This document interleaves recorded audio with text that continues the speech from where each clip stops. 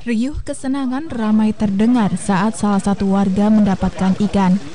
Inilah suasana keramaian mencari ikan di sungai atau yang biasa disebut perik di Sungai Kalilendi, Desa Sendang Dalem, Kecamatan Padurso, Rabu 1 Agustus 2018. Perik ini menjadi agenda tahunan masyarakat Kecamatan Padureso khususnya yang berlangsung saat salah satu mesin PLTA Wadas Lintang dimatikan dalam rangka perawatan mesin, yakni setiap tanggal 1 Agustus.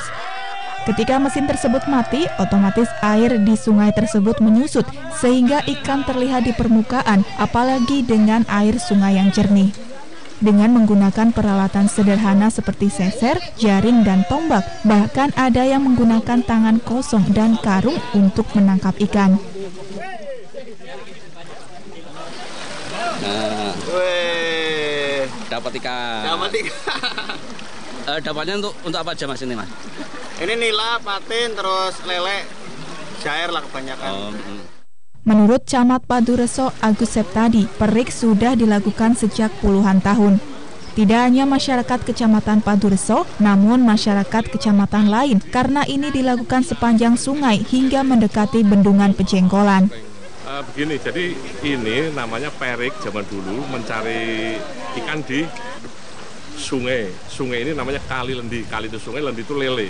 Dukuh di sini juga namanya uh, dukuh kali lendi Desa Sendang Dalam, Kecamatan Paturso.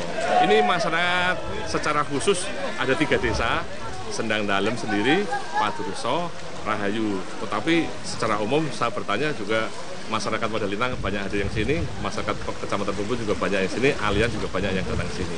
Ini ribuan sampai ke mendekati uh, Jembangan.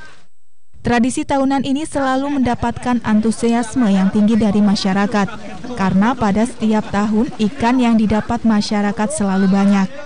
Kegiatan ini juga dapat meningkatkan tali silaturahmi antar warga. Oke,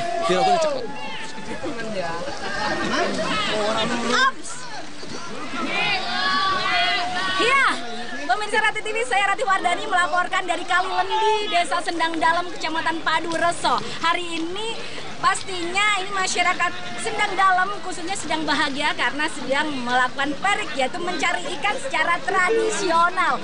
Di sini tidak hanya masyarakat Sendang Dalam tapi sekitarnya bahkan sampai luar kecamatan datang ke sini. Dan event ini diagendakan setahun sekali setiap tanggal 1 Agustus sekaligus untuk memperingati Hari Kemerdekaan Republik Indonesia. Dan tentu saja penangkapan ikan ini tidak boleh dilakukan dengan cara-cara yang tidak aman dengan lingkungan, tapi hanya boleh mempergunakan alat-alat tradisional seperti jala, boleh dengan nangkap dengan tangan ataupun dengan seser seperti ini. Saya Rati Wardani melaporkan dari Kalilendi, Desa Sendang Dalam, Kecamatan Padureso.